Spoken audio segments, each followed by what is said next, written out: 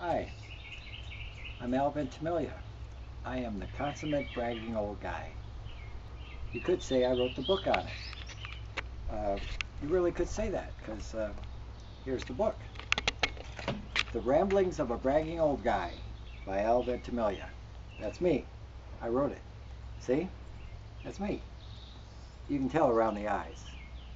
But you know, it doesn't matter. Um, because this is a classic example of uh, that old saying, you can't judge a book by its cover.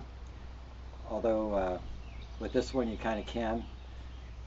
All you have to do is like flip the cover over, read the stuff on the back side, and it tells you all about the book.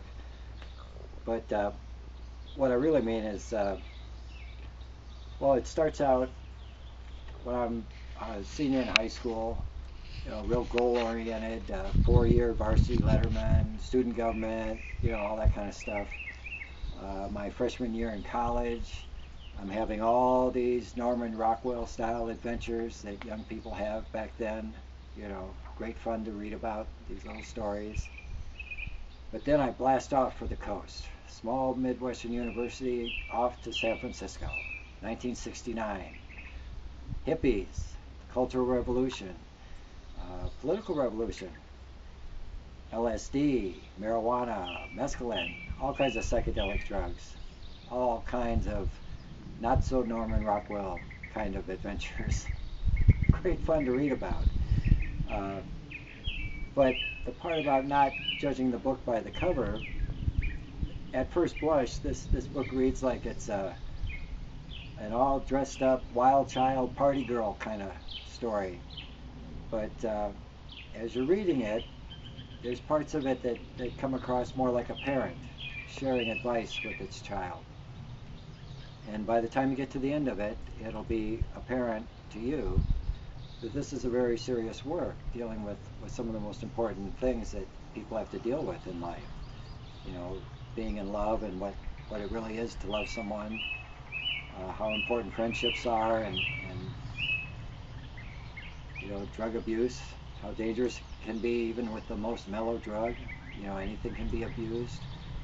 Uh, the, the, way uh, things you do and, and um, people you surround yourself with and the, the drugs you take and how often you take them actually change the person you're becoming. You know, you, you can start out becoming one kind of person and get involved with the wrong people, the wrong drugs, too much, and actually change who you are.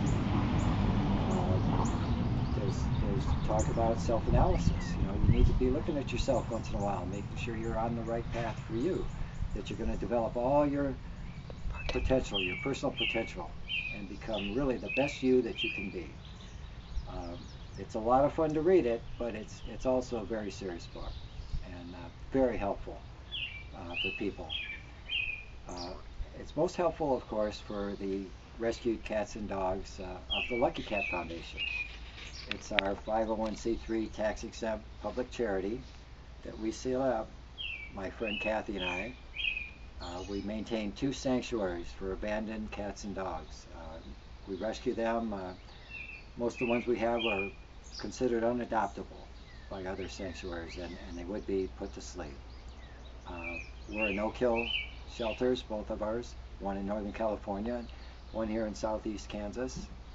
Uh, we make sure everybody's spayed, neutered, tested for leukemia, tested for AIDS, uh, vaccinated, and given a forever home, lots of love.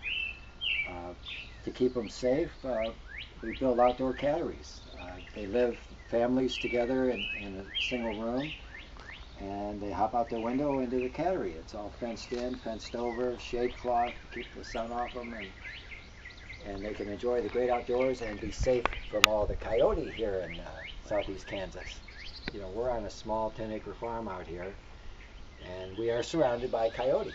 And uh, I'll fire a couple of shots into the lawn if they're howling too close, but you know, when you're not killing them, you got to protect the cats from them, so you fence the cats. And uh, and they're all loving it here. They're all happy, and uh, they get the best care.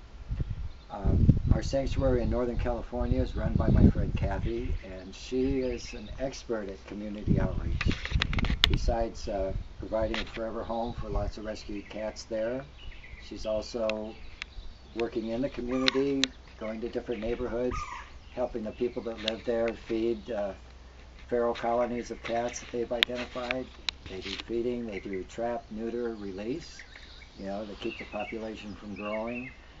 Uh, if she hears of elderly people that have a cat that they love and they don't want to lose it, and, but it needs to be medicated every day and, and they can't do it, she goes to their house every day and helps them medicate that cat so they can, uh, uh, you know, enjoy the companionship of that animal for years longer than they otherwise would have. Um, Lucky Cat Foundation does does lots of uh, really good things for, for abandoned animals and for people. And if you buy copies of my book, you do yourself favors, and uh, and uh, you can help a lot of abandoned cats and dogs at the same time. So uh, buy copies of my book, pass them around to all your friends, and especially to young people who would benefit most from it. Although I got to tell you, baby boomers love this book. You know, it was our time. Um, and uh, go to the Lucky Cat Foundation website and check us out. You can donate there. Uh, you can go to our Lucky Cat Rescue Sanctuary Facebook page and, and like us. And, uh, and you can help us help all these abandoned orphans that we're trying to save. And, uh, and I need to stop rocking here for a second so I don't make myself too flurry.